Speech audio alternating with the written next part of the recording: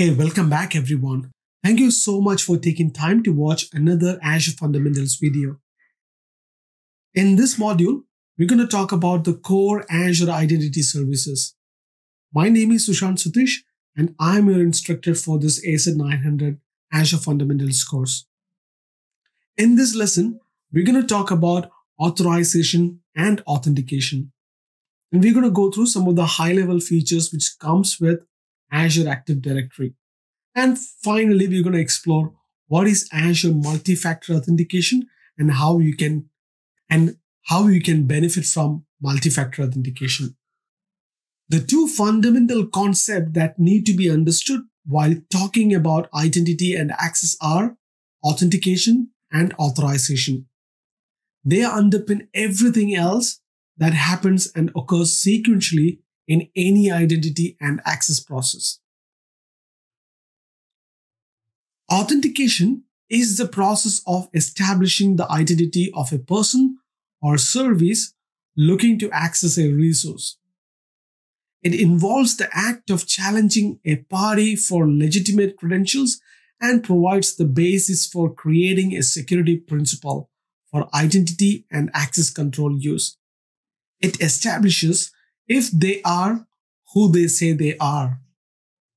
Authorization is the process of establishing what level of access an authenticated person or service has. It specifies what data they are allowed to access and what they can do with it. Authentication is sometimes shortened as auth-n and authorization is sometimes shortened as auth-z or auth-z. Azure Active Directory is Microsoft cloud-based identity and access management service. Azure AD helps employees of an organization sign in and access resources. Azure AD can be used for external resources or internal resources as well. Azure AD provides services such as authentication, single sign-on, app management, B2B, B2C, etc. So let's look at these in detail. Authentication. This includes verifying identity to access application and resources and providing functionalities such as self-service password reset, multi-factor authentication, a custom banned password list, and smart lockout features as well.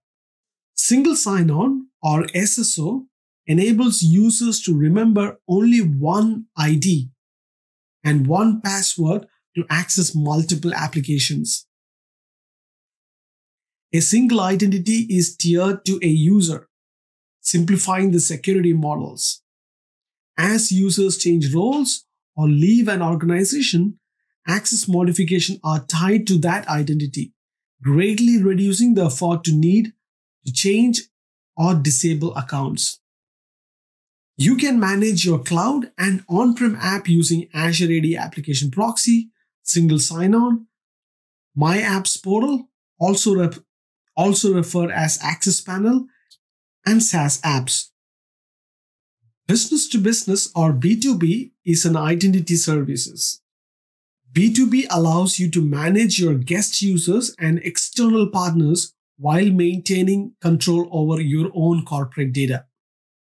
Business to customer or B2C is also an identity services, which will help you customize and control how users sign up, sign in, and manage their profiles when using your apps with services.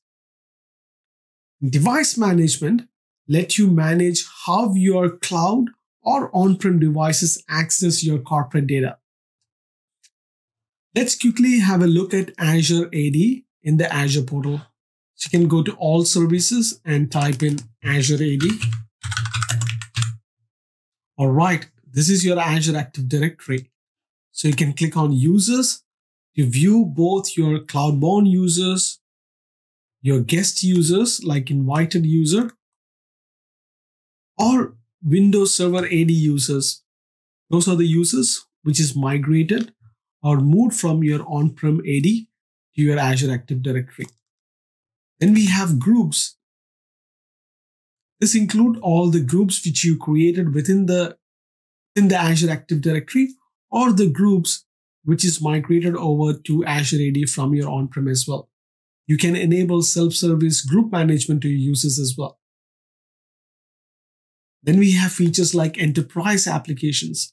This is where you can allow users to access multiple other vendor applications to use a single identity, which is your Azure Active Directory or your Office 365 identity. So you can click on new applications to add an app which you want to integrate with your Azure AD. This can be a gallery app or this can be something which you're developing as well. Under security is where you can configure a lot of additional things like conditional access, uh, your multi-factor authentication, etc. This is where you configure the device enrollment point.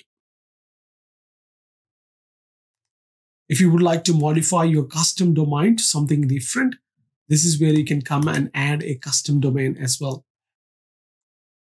You can manage your licenses within Azure AD. You can go to all products, which will list down all the licenses which is available and who it is been assigned to, how many is been available, and when which one is going to be expired soon.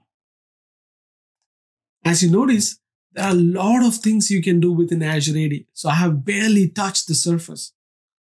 When you go and learn about MS100 and MS101 and MS500, you will dive deep into Azure Active Directory.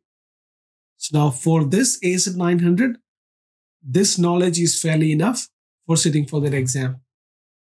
Now let's explore multi-factor authentication. Azure multi-factor authentication provides additional security for your identities by requiring two or more elements for full authentication. These elements fall into three categories. Something you know, something you possess, and something you are. Something you know could be a password or the answer to a security question. Something you possess might be a mobile app that receives a notification or token generating device. Something you are is typically some sort of a biometric property, such as a fingerprint or a face scan used by many mobile devices. Multi-factor comes as part of following Microsoft Azure service offerings.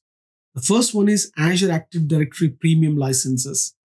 Another way to get multi-factor authentication is for your Office 365 services. And the third is Azure Active Directory Global Administrators. Because global administrators accounts are highly sensitive, a subset of Azure multi-factor authentication capabilities are available to protect these accounts. So let me quickly jump into the portal to show you where you can configure that. So now I'm in my Azure AD portal. I can go to users. And there is another tab over here which you can click to go to multi-factor authentication. So depending on the license you have, you can pretty much view which users you have enabled within your organization have MFA, which users don't have an MFA enabled. If you would like to enable it, you can simply click on enable and that gives you option to enable multi-factor authentication. You can go to service settings.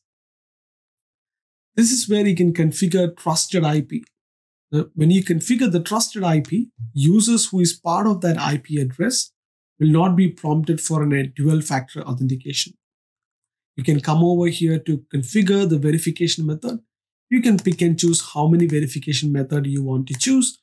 Do you want to give a call to a user or a text phone or a notification to your phone, uh, notification to an app as well. And this is where you can configure, remember the multi-factor authentication for how many number of days. So users will not be prompted for a second multi-factor authentication if they have already gone through a verification within these many number of days. Once you made the necessary changes, you can click on this save. I'm not going to do that now. I'm going to simply close this tab. That's a quick view on how to configure the multi-factor authentication. I hope the information provided on the last module was useful. In the next one, we're going to talk about AIP and ATP. AIP is Azure Information Protection and ATP is Azure Advanced Threat Protection. So I will see you in the next video. Till then, take care.